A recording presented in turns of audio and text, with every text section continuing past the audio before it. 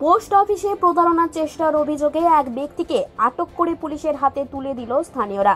শনিবার ঘটনাকে ঘিরে ব্যাপক চাঞ্চল্য ছড়ায় আসানসোলের কুলটি থানার নিয়ামতপুর ফাঁড়ির অন্তর্গত সুন্দরচক পোস্ট অফিসে। জানা যায়, দিলীপ ওরাং নামে এক গ্রাহকের পাসবুক জাল করে পোস্ট অফিসে টাকা তুলতে এসে ধরা পড়েন এক ব্যক্তি। চলে গণপ্রহার। এরপরেই অভিযুক্তকে তুলে দেওয়া হয় নিয়ামতপুর ফাঁড়ির পুলিশের হাতে।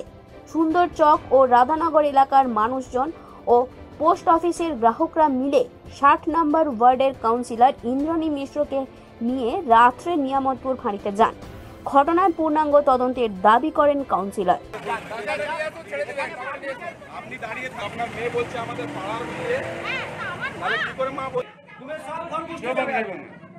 জমা করলাম বলে আপডেট তুমি সালে এখানে এক লাখ টাকা তুলতে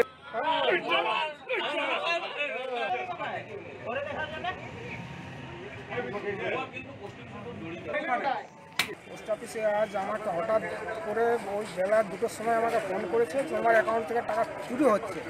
তাহলে আমার অ্যাকাউন্ট থেকে টাকা কীভাবে চুরি হবে? অ্যাকাউন্ট তো আমার কাছে আছে।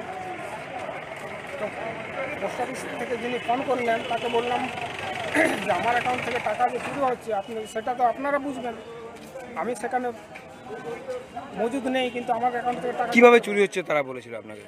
বলছে কোনো অন্য লোক তোমার অ্যাকাউন্ট থেকে টাকা বের চেনেন যায় যে নিয়েছে টাকা বের করে- তাকে আজ পর্যন্ত চিনি না দেখিও টাকা কি বের করেছে এর আগেও? বের করার চেষ্টা করেছিল আমার বের করতে পারেনি।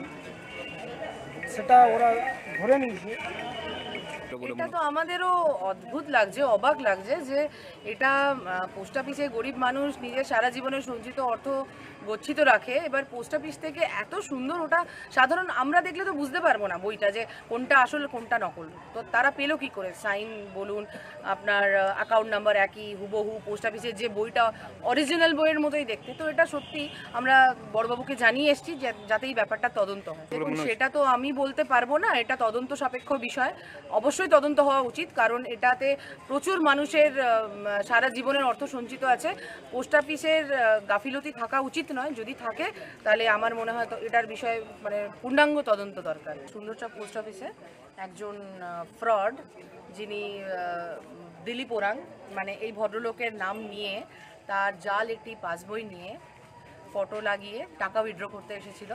এবার যেহেতু পোস্ট অফিসটা আমাদের লোকালয়ের মধ্যে অবস্থিত ওনার যাতায়াতের সুবাদে পোস্ট অফিসের যারা লোকজন আছে ওনাকে চেনেন।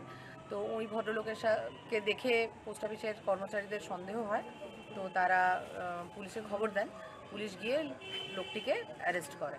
তো একটুর জন্য অনেক কটা টাকাই মানে সাধারণ মানুষ, গরিব মানুষের খেটে খাওয়া টাকাটা বেরিয়ে যেতে পারতো। তো পুলিশের তৎপরতায় সেটা হয়নি। আসানসোল থেকে Mahesh Dev report, TV news ten.